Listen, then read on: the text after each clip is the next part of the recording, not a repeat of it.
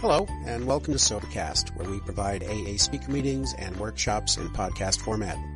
We're an ad-free podcast, and if you enjoy listening, please help us be self-supporting by visiting Sobercast.com, look for the donate link, and drop a dollar or two into our virtual basket. We hope you enjoy the podcast. Have a great day. Hi, I'm Josh. I'm an alcoholic. Um, my sobriety date is July 3rd, 2010. Uh, this is my home group, and I have a sponsor and a sponsee. So get that out of the way. Um, and I don't really want to do this right now. So this has been my home group for about four years now, and um, I've done the 15 minute speaker like several times, and never really felt like I got to let my like wings spread and really let you know all the deep, awesome things that I have to say and the wisdom that I have to bestow upon you. So we'll see how this one works out. I haven't really thought about it much though. So, um, so uh, I was uh, born. Um, that doesn't matter. Whatever.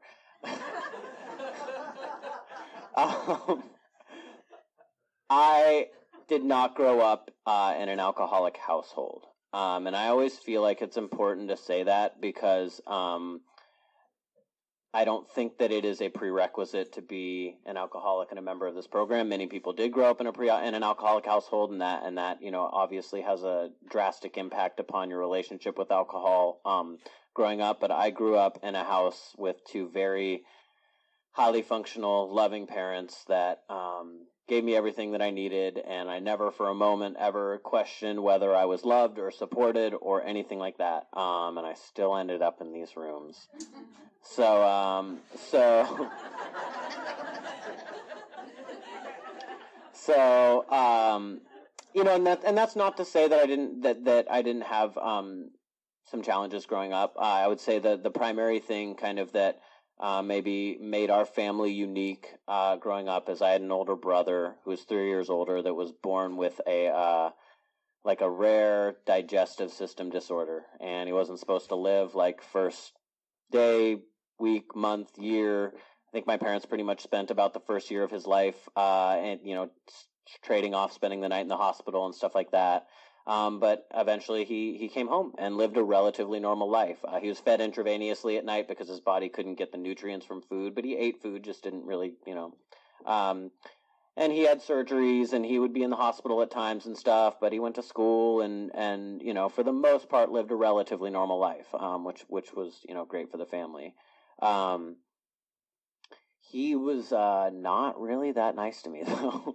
um, which like you know big brother little brother thing like i mean a lot of it was i think typical stuff um, but i also think that he was probably pretty angry at the world for his like his situation and there's not a lot of outlets to like take that anger out on on a regular basis and your scrawny little brother is like a very simple one to do that. So um so i i think you know of, I don't necessarily have a bunch of horrible memories of of uh, our relationship growing up, and you know we shared a room and that kind of stuff was like it was fine for the most part, and it wasn't a physical thing. He wasn't like big; it wasn't like physical fights, um, but it was a lot of just emotional manipulation that big brothers do and that kind of stuff. And I think I was just always seeking approval, um, you know, from him. Uh, as little brothers do. Uh, and so I think that's like those the, those feelings of like just not feeling good enough um, the first place I can really like pinpoint those would probably be in that relationship with my brother. Just feeling like like nothing I did ever got any approval from him.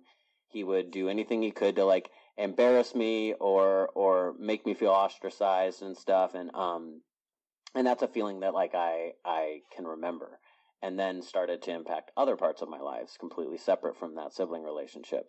Um so I you know I I uh I a feeling that I can re- also remember having for as long as I can remember is this like paralyzing, like paralyzing, like uh, like I care so much about what other people think about me, like, and I really, really want you to like me and think that I am like cool and smart and special. Um, And so from an early age, like I would do what I could in order to get people to, to like me or, or laugh at my jokes or whatever it was. And humor was usually the easiest thing for me as a young child. Um, I wasn't like especially athletic. Um, you know, I did fine in school and was like pretty smart, but that didn't really mean that like that make you cool. So if I would like make fart jokes in kindergarten, like that made everybody laugh. Even if I got sent to the principal's office, it was totally worth it because, like, you know, I, I felt that like acceptance that I think I'd been looking for from other people. Um, so yeah, I can just always remember that feeling, and that's something that didn't go away when I got sober. You know, I still uh, in work and personal relationships and the meetings and, and everything. You know, it's like it's it's hard for me not to um, try like try to impress people. Um, and it's gotten better, but anyway, uh, I think next next big thing for me is uh, so is my spiritual path that I've gone on. Um, I like we went to church growing up, but my parents were like very like chill about it. I think they were very much the like we're going to go to this very milk toast Protestant church so the kids have a nice place to go and meet people and stuff like that. But it's not, it wasn't like, you know, my parents weren't telling me like you're going to face eternal damnation if you do these bad things around the house or whatever. Or I didn't feel a lot of pressure um, in that way. But uh, for whatever reason, I got like super into church, um, kind of on my own volition. And, uh, and part of that was I had this best friend who he went to a kind of more like rah rah church that I went to with him, and I think I was kind of like, well, I mean, if this stuff is true, like that's a pretty big deal, so you might as well get super into it because, like, you're gonna go to hell and burn forever if you don't. So that was my like, you know, fifth grade logic. Um, so anyway, so I got like really into church, um, and like I even like listened to Christian music for a while, which was cool. Some Christian rap. Um, yeah, it was it was sweet. Um, so anyway, that that continued um, through high school and even into college, where you know I that's something that I identified myself with was like a, a good Christian boy, and um, and I like was super involved in the church and would go on mission trips and like all that kind of good stuff. And so I became like, um, I became concerned with keeping up that aspect of my personality and like how people perceive that. That became part of my identity, and people like liked that for the most part. Like I, at my high school, it was really weird. Like the good kids kind of like were well respected for the most part. I mean, people partied and did all that kind of stuff, but like, you know, I got like a lot of people really liked the fact that I was like this good boy that did did all that stuff. So anyway, so I, I didn't drink a lot um, in high school because that wasn't what you did. Um, and you know, I think there was two parts of that. Like part of it is I just wanted to maintain that that uh, facade that I'd put up that like this is what I do because I'm this type of person. And also, um, you know, when I think back, like I was very involved in the church, but I would not say that I had like a really deep seated spiritual connection at the time. It was very much about that like like lifeguard god that is like, don't run at the pool. And I was like, okay, I'm not going to run at the pool because there's like big consequences if you run at the pool a whole bunch. Um, and so I, you know, I wanted to like make sure I was doing the right things. Um, and also I wanted to maintain that, that like perception of that I was this good boy that, that didn't do that.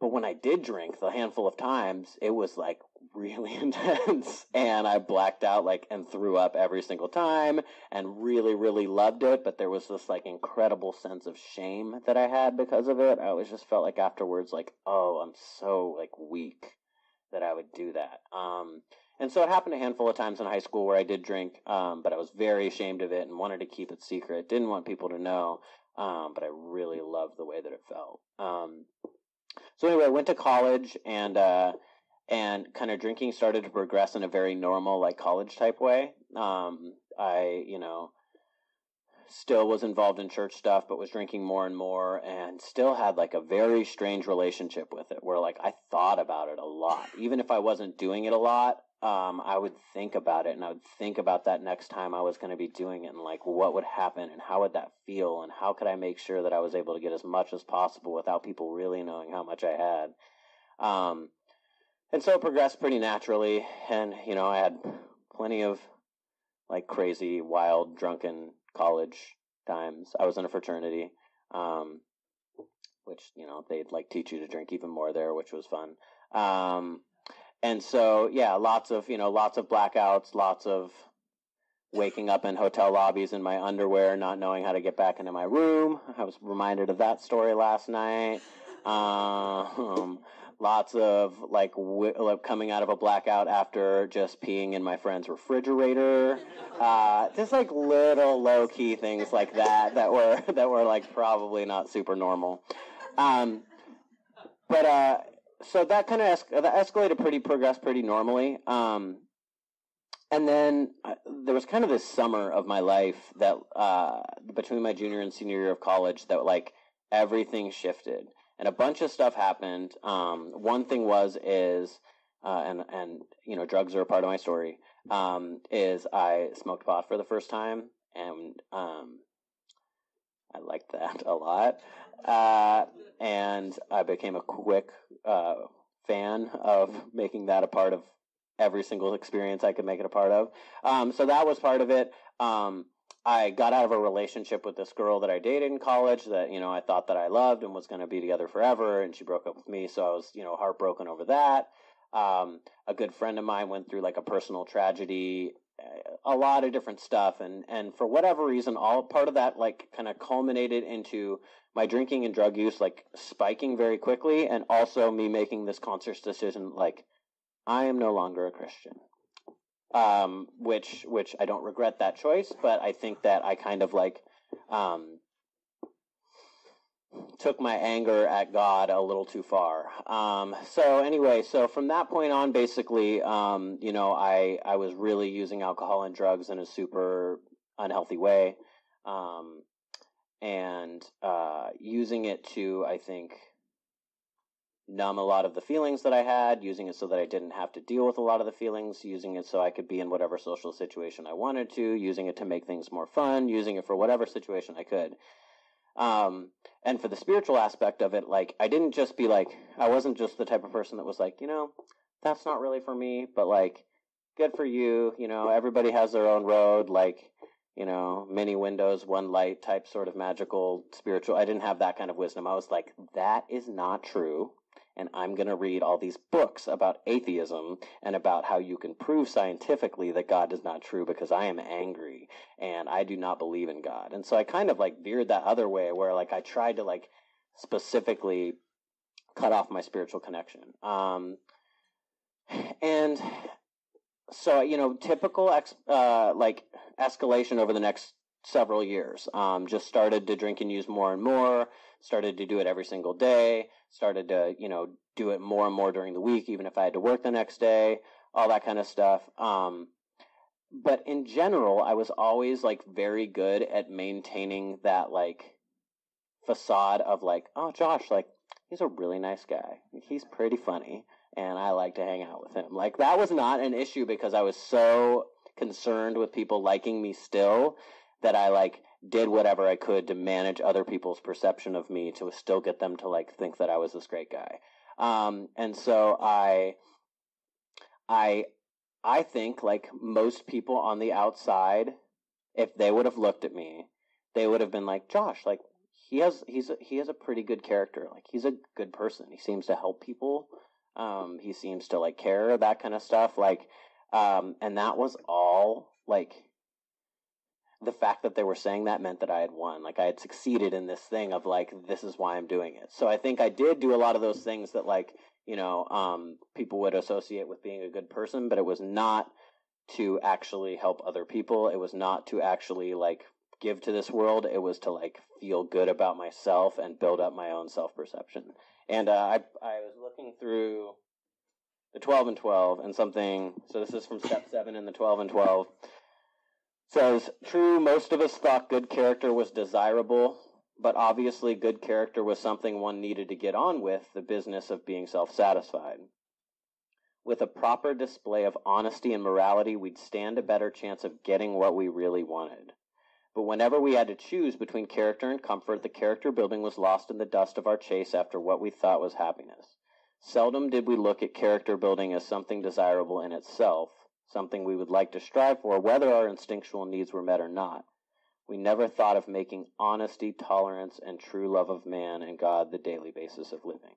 And I think a lot of people would have been like, Josh like is a pretty honest, tolerant, great guy, but like that was not my basis of living. That was not what was driving me. Like getting more alcohol and drugs was was driving me after a while. Um, so anyway, um, progressed, progressed, progressed. Um, typical stuff. I had a job, you know, all that kind of good stuff, and then uh, and then like I started to um, it's the last two years or so of my drinking, it really progressed, and and part of that was because I was like adding a lot of other drugs into the mix and like really, really abusing a lot of different things at once. But it got to the point where like I would, I mean, I did not draw a sober breath. I mean, I would drink in the morning, I would do whatever I had all day long, whether I was at work, um, you know, whatever it was and it was complicated because I was uh, I was in a relationship at the time, like living with this woman, um, and sh- and like hiding it all from her. Like I like I think while we were together, if somebody asked, they're like, "Oh yeah, Josh, like he likes to go out and have a few drinks," or like he smokes pot every once in a while, and it's like, no, I was like the entire time, every single memory that we have together. I was high and drunk, and maybe throw a couple other fun things on top of there. Um, which uh like that's a bummer that feels bad to do that to somebody um and so you know i had a couple years of doing that and hiding it and and all that kind of stuff and it pretty much just hit its breaking point. Um and so that that was one of the one of the big kind of things for me um that that brought me here. Another thing that as i go back um one other thing that happened was like when i was about 25 i almost got a dui got pulled over and blew like a .078 and only because I wasn't drinking that night. Like that's what I told people. Like I'm not going to drink that tonight. I'll just have like three beers. And so luckily, I like because I was driving home, I I blew under, but I still got charged with the UI and had to go to court and do all the typical rigmarole, rigmarole that they make you do. But anyway, I knew that I had to get um, I knew that I had to get drug tested as part of the like alcohol assessment intake thing. I knew that I'd talked to a lawyer friend. And so I stopped doing drugs for like several months because I knew I was going to have to get tested. And it, it was not that challenging. Um, and I say that because um, I was never able to stop drinking. Um, and so even though drugs were a part of my story and there's something that was a very big part of like what brought me to my knees faster, um, I identify as an alcoholic because I was able to give those up when there were circumstances that dictated that I needed to. And, uh, and I was never able to, to give up alcohol until I came here. Um, anyway, so basically things progressed to the point where I was just like spiritually, emotionally, financially bankrupt. I mean, every single thing that like I, I just woke up and dreaded every single day. Um, and I don't think I ever had any like real suicidal thoughts, but like I kind of thought I was probably just gonna die somehow, right? Like you can't just go through life being like messed up all the time and like not have eventually catch up to you. So I was kind of like, well, I'll probably just die and that'll be cool. Like I don't want to have to deal with all this stuff. Um, and I, I wish I could say there was like one thing that brought it there, but for whatever reason, I just was like, it's it's time. It's it's I need to figure out what to do. So I like uh, I came clean, mostly clean. I mean, you know, you don't have to tell all the details, but I came clean with that woman that I've been dating with my parents. Um, you know, I was like, I I have a substance abuse problem. I drink and smoke weed too much, and this and that. And I didn't know what that meant. I didn't know like what I would be doing. I don't think I really knew very much about AA. I think I knew more about rehab. Like I'd had a couple friends that had gone to rehab and stayed sober for whatever reason. So I was like, maybe that'll fix me. Um, and so, you know, my parents were like supportive of that, and they're like, you know, you should go talk to somebody, figure out what the best plan of attack is. So I went to an uh, outpatient rehab program, which was helpful. Um, you know, they it gave me somewhere to be for three hours a day in those first 30 days of sobriety um, where I just that's what I needed, um, and you had to go to meetings for it, which is what kept me sober. Um, and so I went to that, and then um, you know they told you they told me you have to have a sponsor, you got to find a sponsor, and so I was like, okay, like you know, I, I like to get good grades and things. Um, so I'll do the things that you need to do to like be the top student in this rehab class. Um, and so I went to a meeting. So and and the counselor at the rehab place was great. Uh, he was he was a man who's who's still active in the program. I still see him around. I mean, wonderful. You know, I, I feel very very uh, grateful that he's the person that was my counselor there. And he, you know, the the rehab was on the east side because I was working there at the time, but um, but he lived in Seattle and I wanted to go to Seattle meetings and he like circled meetings in the meeting book. He's like, these are good ones and they were good ones. And so, um, uh, one of the first meetings I went to, I don't remember anything about the first meeting I went to, and I definitely did not raise my hand and introduce myself. So kudos to anybody who does that. That's a huge amount of courage. Um, it gets easier. Please keep coming back. Um, uh, but one of the first meetings I went to was uh, a men's meeting that that the, that guy had circled, and I met this guy who you know he just spoke with with like a calmness and, and like a resoluteness and uh, he he immediately introduced i did introduce myself at that meeting because i'd been to a few at that point and i felt more comfortable this meeting so i you know introduced myself and said i probably had like seven days or something at the time. And um and he came up to me afterwards and uh and this was a saturday morning and i was like okay like going to a meeting that's a good thing. And i remember i chatted with him I was like so uh what meeting are you going to tonight what are you talking about? Didn't I just go to a meeting? You're crazy. Um, but we made plans to go to a meeting that night and the next night, and I quickly asked him to be my sponsor. And um, he was one of the most active people in this program that I've ever I've ever known. Um, he had just moved here from from out of state, and so he'd only been here for a couple weeks. So it worked out really well because he knew the program, he knew what to do, I knew the city. So we went to a meeting together pretty much every day for the next several years. Um, and he very early um, taught me the kind of foundational things that I needed to know um, to to be successful in this program.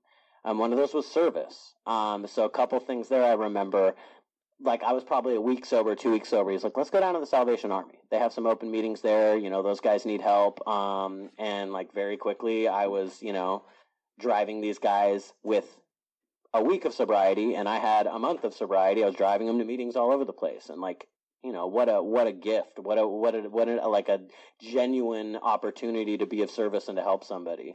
I also remember him. We chose this, but with we chose this meeting as our home group because it's one of the ones that that that guy had circled. We went the first week, and I could tell he was kind of like, eh, but you know, I think that's typical when you move from out of state and you go to new meetings. He's like, okay, we'll make that the home group. He's like, I noticed they didn't have greeters. Next week, we're going to show up and we're going to be greeters. And I was like, okay. because it like wasn't the home group meeting for another three weeks, so we didn't like get to officially join it. So like, uh, service was was a huge part of it. Uh, that that you know, for me, that that's that uh, daily accountability with him and going to meetings on a regular basis early was huge. Um, I don't know if I did 90 and 90, but it was pretty close. It was pretty close to like 365 and 365.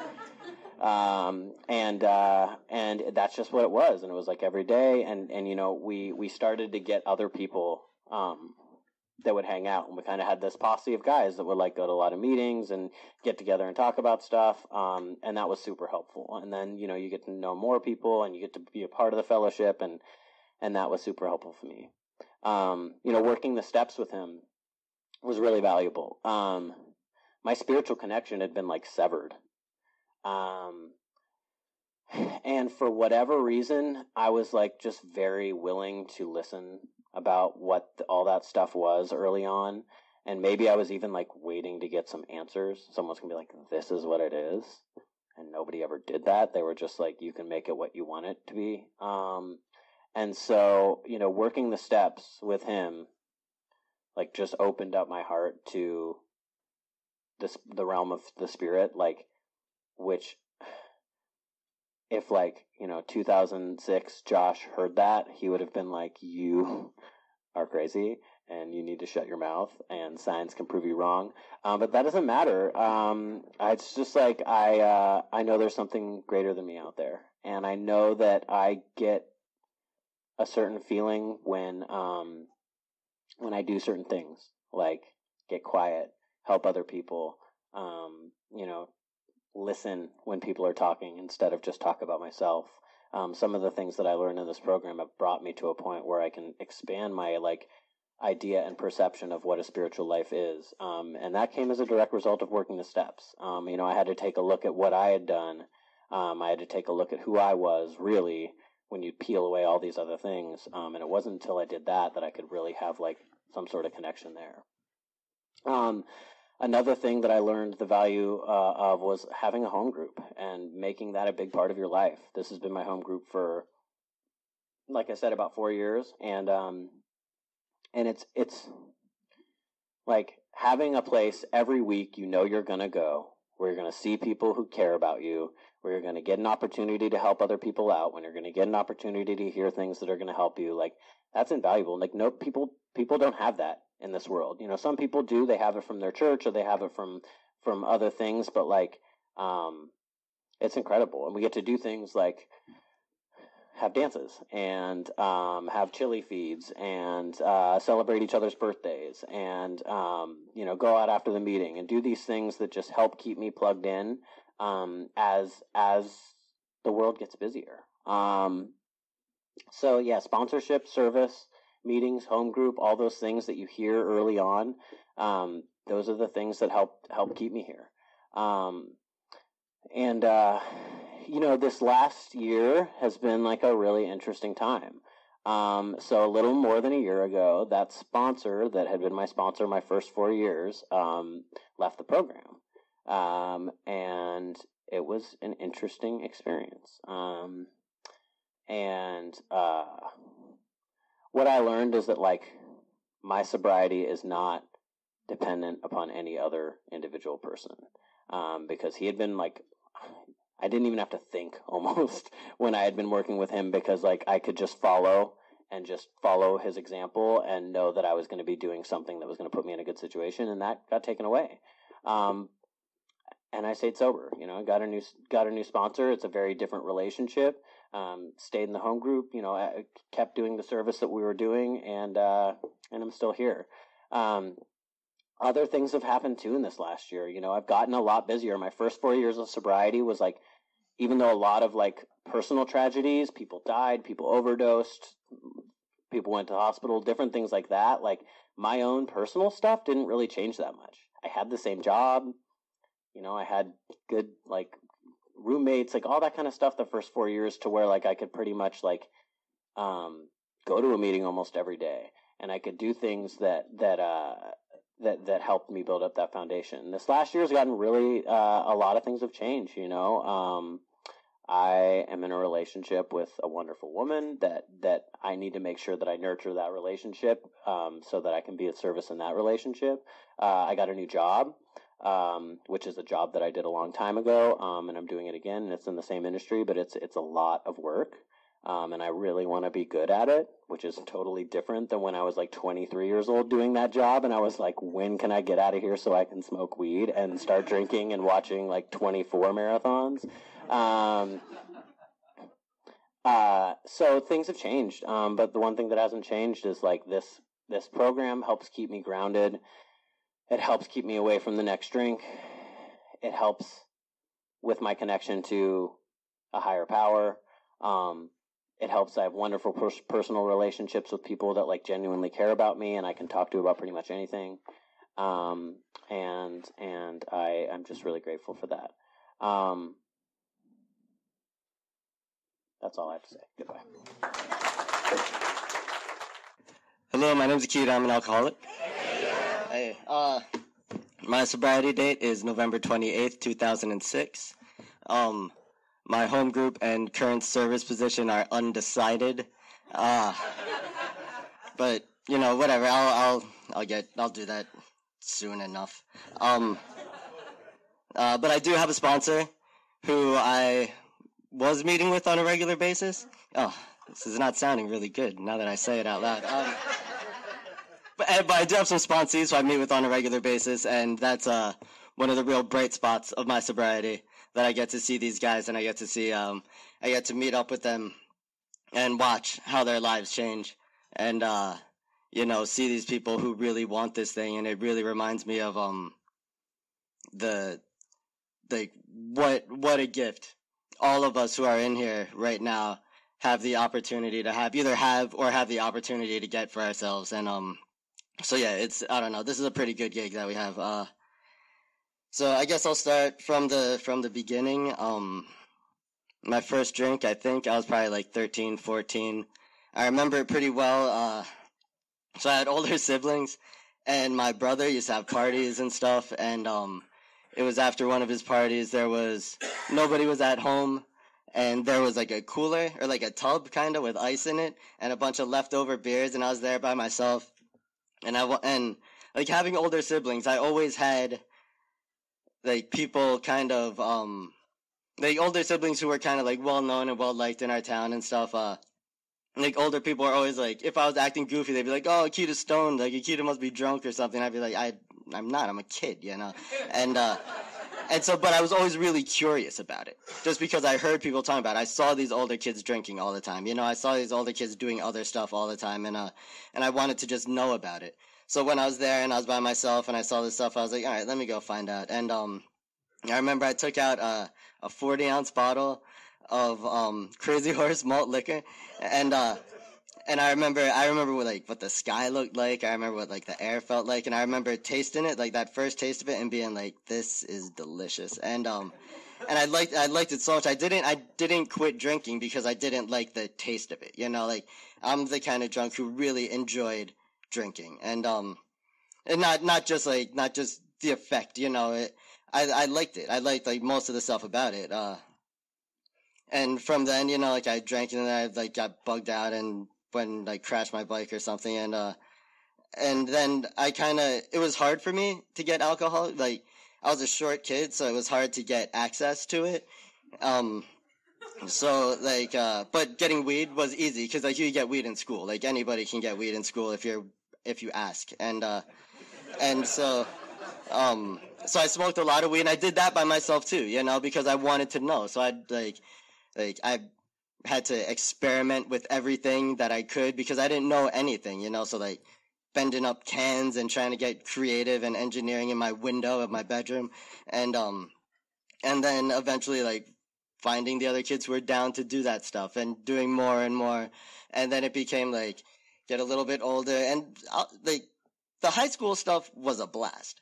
Like I I had a lot of fun then, and I feel like that's kind of the uh, at least in my my story, that's kind of like the the bait on the hook a little bit because like I had a lot of fun for a certain amount of time, and um like no real consequences having the older siblings and like people like my parents and stuff. So I was kind of made in the town that I was in, and I got out of a lot of trouble.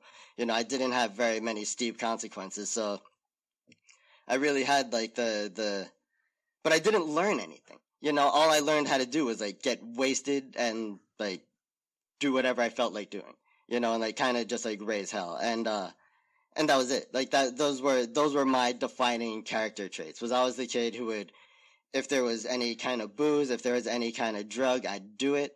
And we'd go out and we'd get loaded and then we'd go raise hell and do something crazy, you know, and that was, that was all I learned socially how to do with people. And, um, and then so like after that high school period ended, I I tried to go to college once, and that didn't. Like the school, the school part's easy. The school part's a, the school part was always like I always thought it was kind of like a racket to me. Like you, you just have to know how to pass tests. You have to know what the teachers want from you and do the stuff they want, and then you just go and you do it, and then you pass it. And um, and then, but like the social part was really was really hard for me. Um, because all I knew how to do was get loaded and raise hell with other kids. You know, like that's the only other way I knew how to interact. And this the school I went to was kind of a little uptight, and uh, and so I didn't I didn't really fit in. And then the consequences started kicking in. You know, because I'm acting the way that I know how to act, and other people are like kind of you know like taken aback by it a little bit, and um. And then consequences, consequences, until the point when I was like, I should probably get the hell out of here. Um, and so I left, and it was because they were all square. You know, colleges played out, and like I don't, I'm not. That's not for me. I'm gonna go be me. You know, and uh, so I went. I wound up moving out to Seattle with my sister, who she was out here. You know, getting loaded and raising hell. And so I was like, yes, like I'm coming there too. And um, and I got to live on Capitol Hill with a bunch of you know drunks and punks and all that stuff and have a blast for the most part. And the, I mean, there were consequences, but whatever. I mean, I was like in my early twenties. It was a blast for the most of it. And then eventually time goes on and consequences, consequences, consequences. And, um, you know, burning bridges and stuff and, and, uh, kind of the one speed that I have built into me just makes it, it makes it hard to have people not dislike me. And, uh, and so, like, even out here, I got to the point where I was like, all right, you know, I did everything I needed to do out here. I got to do a lot of really cool, like, fun stuff, but, you know, all these people are stupid. Like, they're going nowhere. Like, I'm to go back to school, you know? And so I decided, I, and, and I even, like, you know, kind of sobered up to try to do this, to go back to school. And, um, and I did that for for a little while. So so what I wanted to do in school was I always wanted to be I always wanted to be a pilot. I always wanted to be a pilot in the military. And uh you know, that was since I was a kid.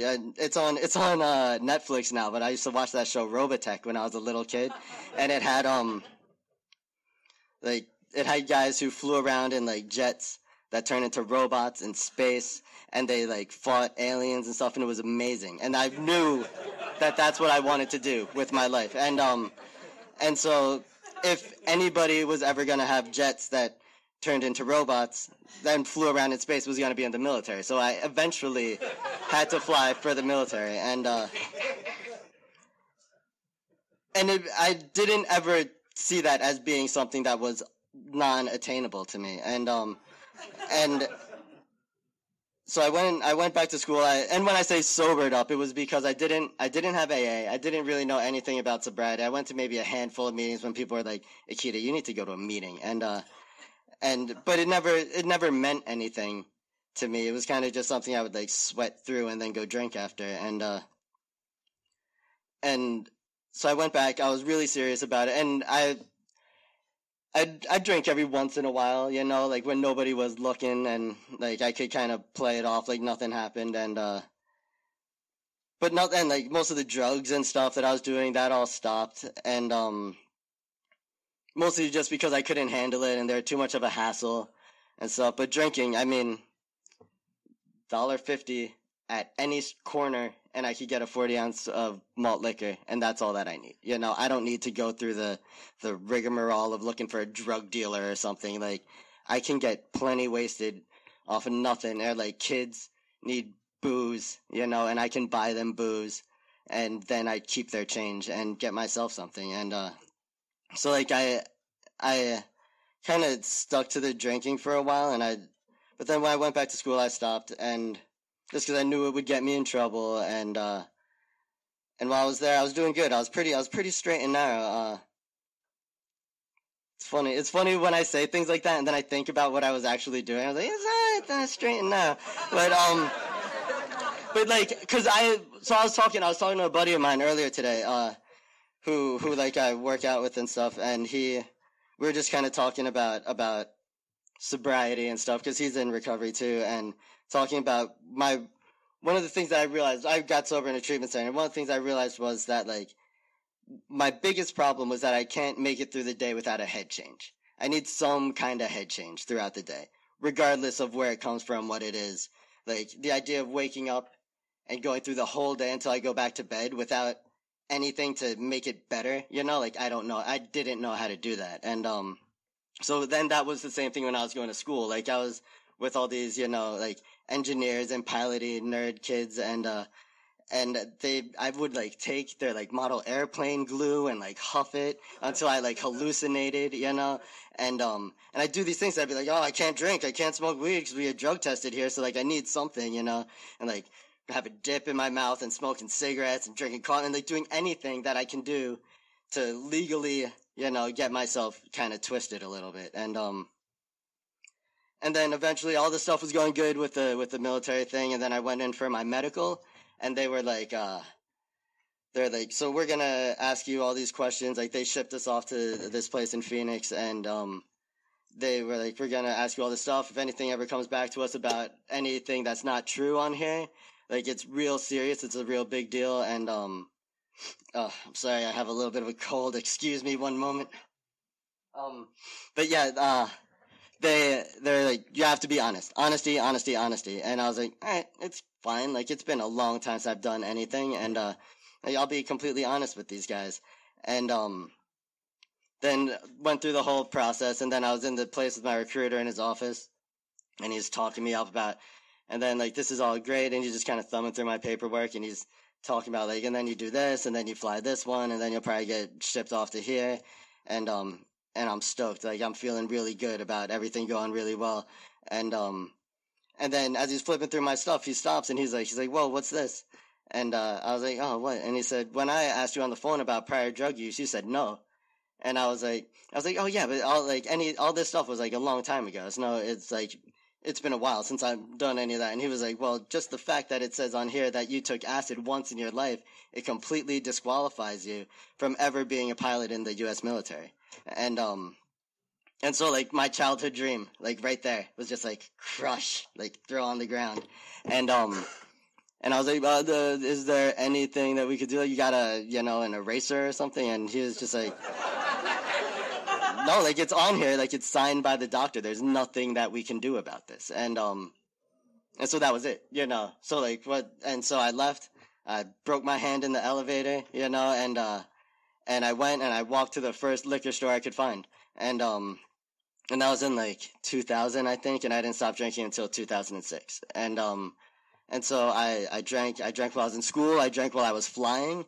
I I remember uh, driving up to the airport with my head out of the window and one eye closed, you know, to go up pre-flight an airplane and go fly it for like an hour and come back and not remember the flight at all. And, uh, yeah, and then eventually, you know, I, I wound up, you know, knocking up my neighbor and, uh, and, and quitting school and like, you know, it was, I was, I was in a spiral and, um, and then, you know, I, uh, like I think I, I think I like drunk drove across the country or something and go home and kind of clear my head and and then uh I decided me and my son's mom were like, well, we'll work it out, you know, we'll make everything work. And um we tried, you know, I got I got I got sober again for a little while and it was pretty good, you know, through most of the pregnancy and like about the first year of the kid's life and um but then eventually it was it's the same the same thing where it's like uh you know, ah, the neighbors smoke a little bit of weed. I'm just gonna like take a little toke before we watch this movie or something. And then it was because I didn't have AA. I didn't have anything. I kind of had a goal that I was gonna do, and I was like, yeah, we're together. Everything is fine. You know, I did it. And like, I'm not an alcoholic. I'm not a, or if I am, it's just, it's the funny, haha, I'm an alcoholic thing. You know, but uh, and so like, and then well, I'm just gonna have like two beers. I'll never drink more than two beers in a night. You know a six pack will last me three days. And a six pack is kind of the equivalent of a 40 and a 22, right? And then if 140 is a regular beer, and then it's a 22 a malt liquor, and then I start doing all that, you know, kind of fugazi math, and then I'm just, I'm drinking the way that I do, you know, and, um, it doesn't take long, and I'm drinking the only way that I know how to drink. And, uh, and so, you know, the relationship thing with the son's mom did not work at all. And that's, that is what it is. It wasn't, I mean, it was a big deal when I first got sober because everything in the world was her fault, but I wound up becoming a single parent. And, um, and I was a martyr because I was the first single parent ever. And, uh, and nobody knew, nobody knew how bad it was. And, um, and then, uh, I was, I was no good. I was no good to anybody. I was, um, you know, like I'd leave the kid, I'd drive with him drunk in the car, I'd, you know, I'd put him, I'd put most of the weight on my parents to take care of him while I would be a martyr and go out and do what I do. And, uh, and then eventually, you know, like, my home was falling down around me. I was living with my parents. I was like too old to be living with my parents and I was living with my parents and um and we like it was in the house I grew up in and it was like falling down around them. They're getting older and stuff. I'm not contributing hardly anything. And uh, then my whole family decides we're gonna wagon train it out to Seattle and we're all coming out here and we're living out here. And um we came out here and that's when that's when things got real real exciting. Um because I started realizing like just being in more of an urban area, drugs are so much e- more easily accessible, you know. So I started doing a lot harder drugs, and as I started doing that, the consequences really started kind of skyrocketing, and um, you know, like just like the violence, like the physical pain, you know, that comes along with stuff, really like kind of grew, and uh, and eventually it was to the point where oh, like uh, the turning point, like the real the real turning point for me was um I was in this motel on Aurora doing what you do in motels on Aurora and uh and I was smoking some I know this is an AA meeting, but I was doing that thing where you smoke the stuff out of the skinny little glass pipe that's really close to your mouth and I wound up burning my throat really bad. And like I remember uh like I couldn't swallow, like the room was closing in on me and everything and um and then I kind of broke. So I used to be pretty good. Like I used to be fairly invincible as far as this stuff goes. And uh but then it was like after that it was just like I couldn't, you know, I couldn't like smoke a cigarette hardly without like gagging and hacking and I was throwing up black and brown stuff and like choking on foam and like all these like it was it was a nightmare. It was really bad. Like my health had broken.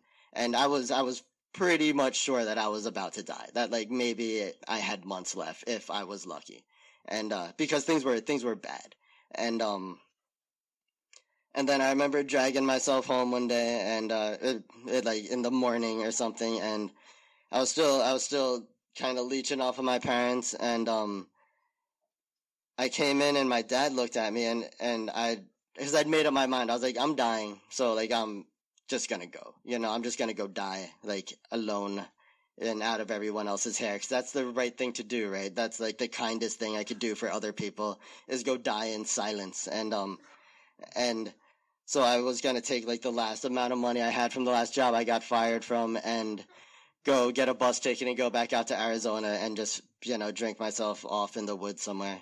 Um and I was telling my dad this, you know, I was like, you, I'm gonna get, you need to get custody of my son, cause I gotta go and uh and he was like I remember looking at him like it kind of sucks when you look at your dad and you see like your dad looking at you crying. Like who's supposed to be like a strong man you know and like he's like welling up with tears and stuff. And he was like and he doesn't know anything you know and he's like just try to go to rehab or something.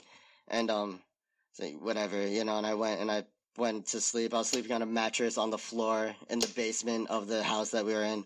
And um and I woke up and my son was lying next to me. And I remember looking at him and being like, being like, God damn it. You know, like I couldn't, I couldn't do it right then, you know. So I was like, I, I'll try, I'll, I'll make a couple phone calls. And if I can get into treatment this weekend, you know, I'll give it a shot. If it doesn't, if this isn't right, then I could still do the other thing. That's always an option. And, um, and so I called up recovery centers at King County, RCKC, and, uh, and they told me that um they could get me a bed in their detox the next day, and um and that wasn't the best news at the time, but um but it was the news that they gave me, you know, and so and I'd said I was gonna do it, like I'd made a I'd said to myself if I can do this this weekend I'll do it, and they were like, yeah we got a space for you like right now, you know, and um so I got all loaded that night made the made the arrangements, got all wasted that night, showed up nice and drunk. Uh, I remember I remember hitting on the receptionist as I was checking into treatment, and um, I'm sure that's a great look for anybody. And uh, and that so that place I used to I used to bring panel meetings there all the time. Like I I loved that place, and it's since been closed down because it was a King County deal, and um I don't know. I don't really know the details of it, but some shit happened and it got shut down. And uh but man, I love that place cuz that place without a shadow of a doubt saved my life. You know, I knew nothing. I remember being in there being in the detox part where they gave us the little cups with pills in it and we're like eat this and uh, yeah, okay and then eat it and then fall asleep and not like and but then they have a treatment center like an actual like inpatient treatment center downstairs from the detox and i count my sobriety date as when I stepped into that the treatment part downstairs and um I didn't know how to do anything. I didn't know how to eat right. I didn't know how to how to you know have like good personal hygiene or anything, or like how to like like the benefits of making my bed every morning. You know, like little human being things I had to learn there, and uh, and it was great. You know, that place it was it was no frills. It was like a like a bomb shelter kind of, and uh, and like it, um, they take us for walks like once a week, and uh, but man, I loved it because it. I got to see some. There's this one counselor there. Um, I don't remember what his what his whole name. I don't think he even told us what his whole name was, but his name was Mike, and uh, and he talked about smoking crack. He talked about being homeless. He talked about doing all the things that I did, and um, and he was like he he had a glow about him. He was like the happiest, coolest, like most energetic guy you could meet, and um, and I knew he wasn't lying to me when he talked about being sober. Like when he talked about how he doesn't do anything to get a head change all day. I believed it. And I believed when he said, like, I've been here, because there's some things that, you know, like, like, you don't know. Like, it's not like you're not to be able to make it up because you saw it in a movie or something. Like, do, like, you had to have lived the kind of miserable life that I lived to know what certain things are like. And he said all that stuff. And I was like, that guy really did all this stuff. And he's really sober right now. So, like, and I, I mean, I had nothing. Like I had nothing going for me, and um, but it gave me that gave me that glimmer of hope, you know. And uh, and in there, like I heard all the statistics and stuff about how like one in every hundred people who goes to treatment actually stays sober more than a month or anything, and I didn't care because I, I was desperate, and I said if if it's one in a billion, I'll be the one. You know, I don't care. I'm doing. I'm. I want this. You know, and I'm gonna do whatever it takes to get this.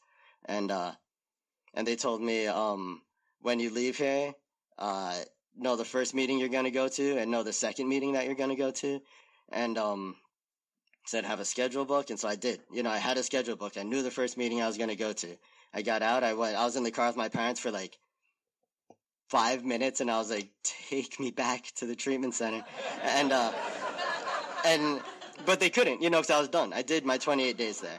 And so, um, but what they could do was they took me to, um, Fremont Fellowship Hall up on Aurora. And I went in there and it was perfect. It was like, it was, it was just what I needed. It was the same vibe that I had in the treatment center. Everything about it was just right for me at that time. And, um, and I was able to be in there for that hour and a half that the meeting lasted. And then I left and I was home for like an hour maybe. And I was like, what the, what do I do? Like, what do I do with myself? And, um, I had no idea, but I knew the second meeting I was going to go to, and that was Early Birds by Green Lake.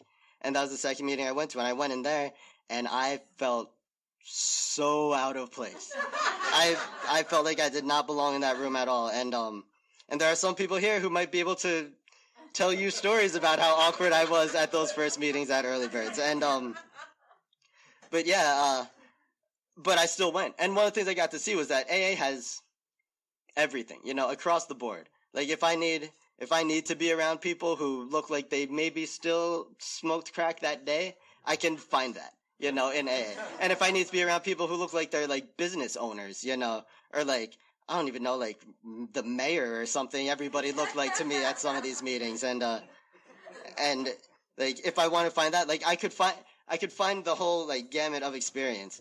And the thing about going to some of these other going to the variety of meetings that I went to was I got to see that we were all alcoholics because uh, I remember I remember at Early Birds one of the things that happened there was uh one like somebody it really caught me because like when people shared they they shared they had the same stories that the people at Fremont had you know they just looked a lot different but it was still the same stories the same the same pain the same misery the same stuff that I could relate to they just looked different and um kind of carried themselves different you know but it was the same stuff and uh and everybody was still nuts. You know, like I remember somebody got up out of a seat and someone took it.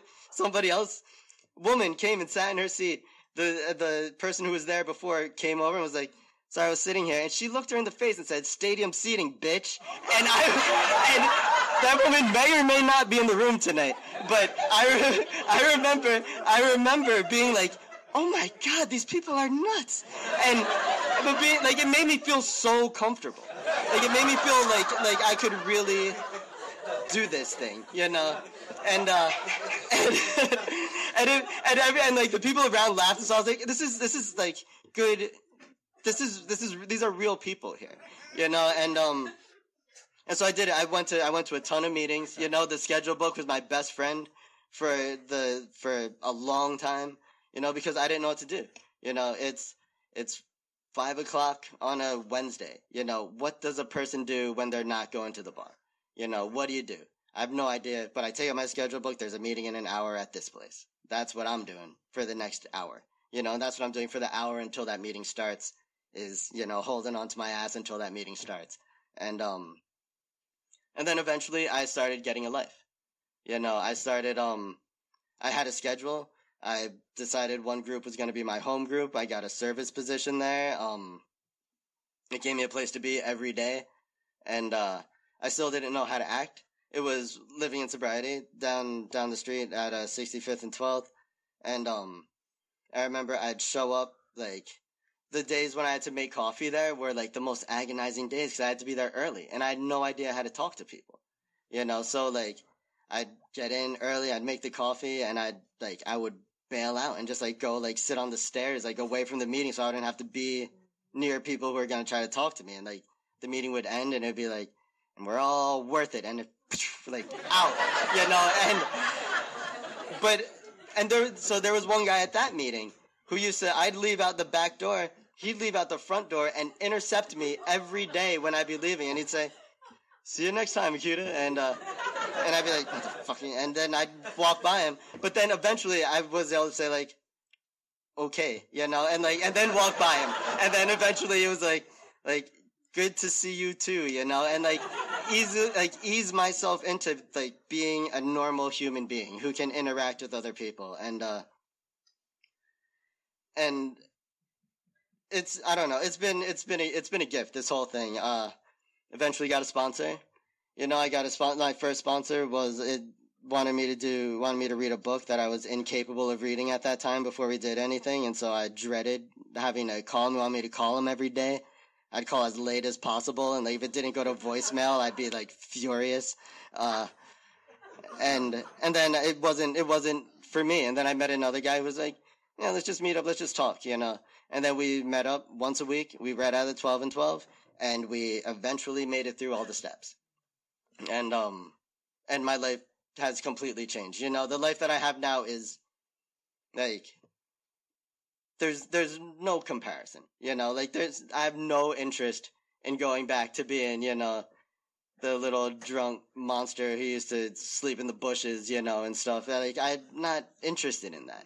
Like I have like I've got a career, you know, I've got like a I've got a family of like my own making around me and uh you know like the things that I, the things I get to do that like I'm privileged enough to do? Like I'm I'm doing stuff I used to dream about as a kid. Like literally things that I used to dream about um I get to do for real you know? And uh yeah so the opportunities don't just stop showing up but they only show up for me when I'm taking care of this business right here you know? I keep putting one foot in front of the other. I make sure I'm trying to be the best Akita I can be every day. And then the world just keeps opening up for me. And uh got a little bit of a moral compass, so I'm kind of, you know, not all the time, but I'm pretty good at being able to tell what I should and what I shouldn't be doing because I've spent the time, you know, putting in the reps and getting practice at actually doing that. Um, so yeah, I don't know. And it's also really cool to be able to come to this meeting because I remember when, um, one anonymous member here was starting up this meeting. And that's kind of awesome that I get to be around here and watch things change and be able to come into a room and hear so many hear so many new people talk about being in here. You know, people with day counts. It's the best. Like it's it's really an honor that you guys asked me to come in here and and talk to you tonight. So thanks.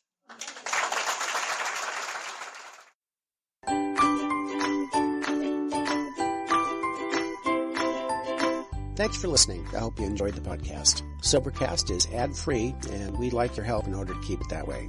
So if you'd like to help us be self supporting by pledging a dollar to a month, visit Sobercast.com and look for the donate links. Thank you very much.